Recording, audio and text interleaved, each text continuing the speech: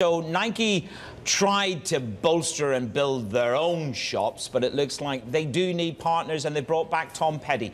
Who is he and what magic touch does he have?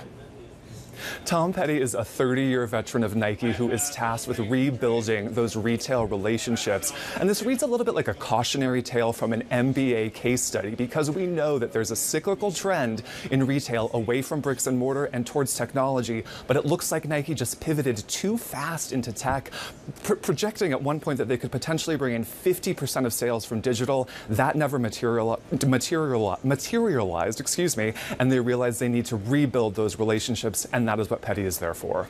It's a difficult time for Nike. The CFO was talking uh, at their last results saying that they're feeling increasing pressure by the value customer and they want to give out now a shoe price below $100 that for Nike would be, you know, relatively cheap.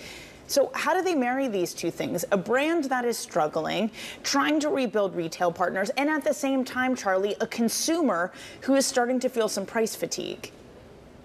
You know, look, that $100 price point is something that they had shied away from. And I think a big issue here is going to be innovation. So you can innovate digitally, you can innovate and rebuild relationships with retail partners, but that innovation on product is what is so difficult. It's hard to get the price points right. And look, Nike's core, you know, fundamental principle years ago was athletics first, and then the consumer will follow. So they would innovate on the court, and consumers would follow after that. They sort of missed a trick recently with that. They're going into, they they've come into 2024 um, without that innovation, and that could hurt them in the long run.